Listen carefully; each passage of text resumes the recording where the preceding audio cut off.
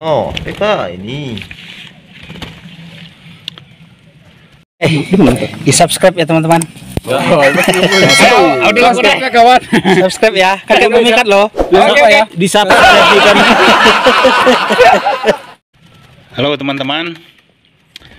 Eh, ini sesuai re- requestan teman-teman.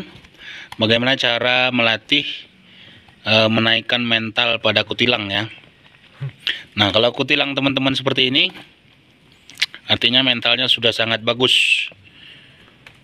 Bisa langsung dibawa ke kebun ya.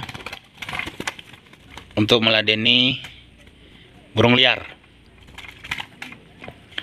Nah ini cara kita mengetahui kalau burung itu punya mental. Dan ini juga bisa digunakan cara melatih ya, melatih burung agar menjadi pikat cengkram. Seperti itu. Tuh.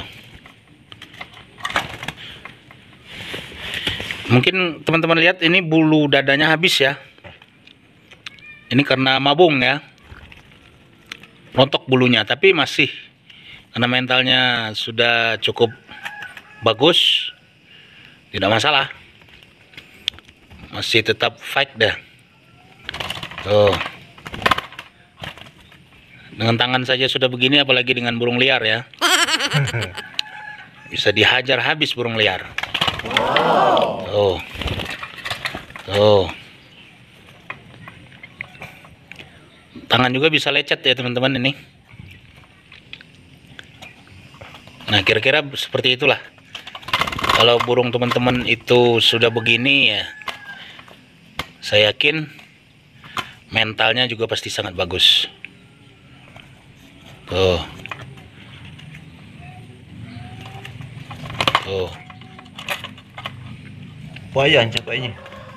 Ini tahu.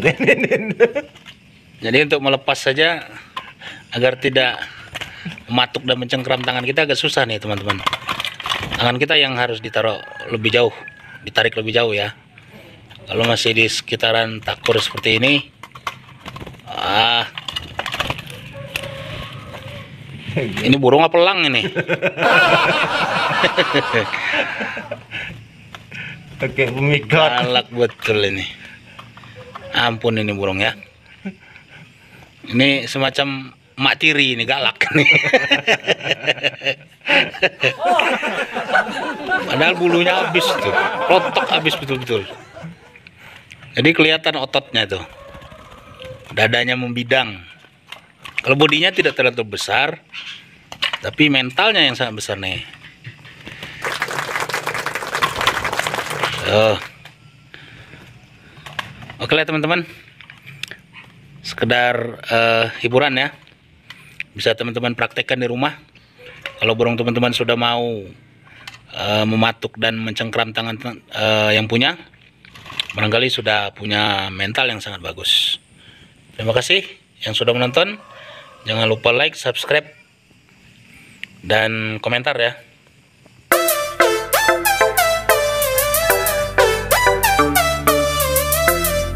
Oke, sampai jumpa. Kakek pemekat, suhunya pikat kutilang.